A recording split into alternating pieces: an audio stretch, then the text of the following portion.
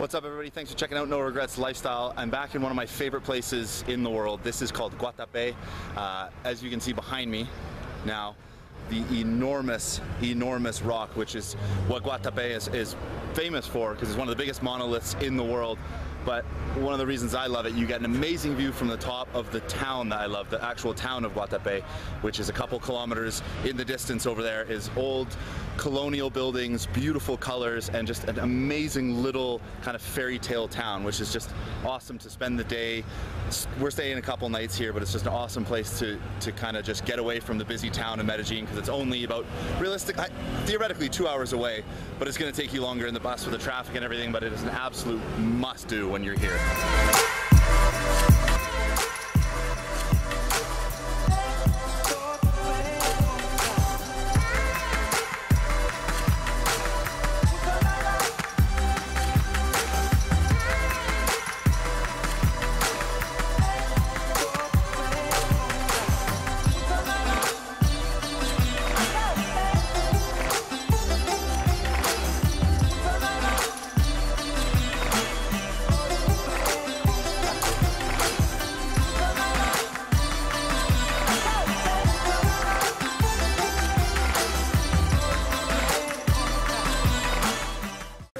So on the way up, written yellow every increment of about 25, I think it was, or 50 steps. Uh, they've got written in yellow the step count that you're at.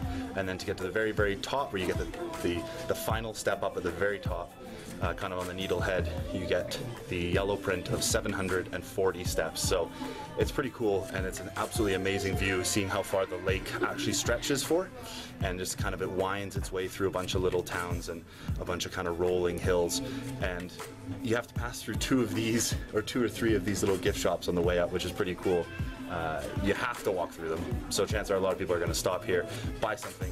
And I figure if you're somebody that works here, 740 steps roughly every single day, you're going to be in pretty good shape because there was a lot of other people who you could tell don't walk steps very often. We're huffing and puffing on the way up here.